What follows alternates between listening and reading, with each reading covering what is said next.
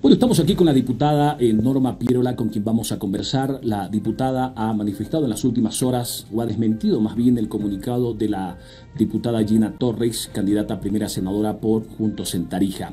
Eh, diputada, eh, Gina Torres dijo en un comunicado la noche de este pasado lunes que ella viajó en un avión de la FAP el pasado viernes porque asistió a una sesión de la Cámara de Diputados. ¿Es cierto esto? ¿Estuvo Gina Torres en la sesión como tal?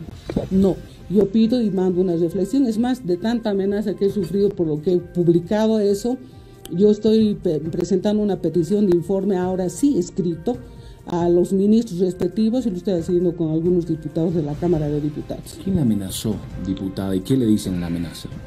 Que mantenga la boca cerrada, que no saben lo que me va a pasar, esta tal, hija de tal y demás. Yo realmente anoche no he dormido una pestañada por todas las amenazas que recibí. Que mantenga la boca cerrada, que no saben lo que me va a pasar, esta tal, hija de tal y demás. Yo realmente anoche no he dormido una pestañada por todas las amenazas que recibí.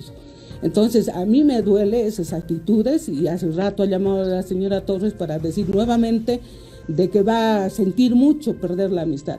Pero yo veo estas cosas que están pasando con los candidatos de, la, señora presidenta, de que un momento están en La Paz, otro momento están en, ese, tienen jet privado. ¿Qué potencia este diputado? me da rabia porque yo he fiscalizado desde el 2010 al, gobierno saliente de Evo Morales. ¿Cómo recibe las amenazas, diputado? Me molesta porque yo estoy haciendo mi trabajo. Creo que aquí la población nos paga por hacer las investigaciones. No les tengo temor. Y si algo me tiene que pasar, que me pase. Lo único que les digo es de que no actúen como ha actuado el más o peor que el más.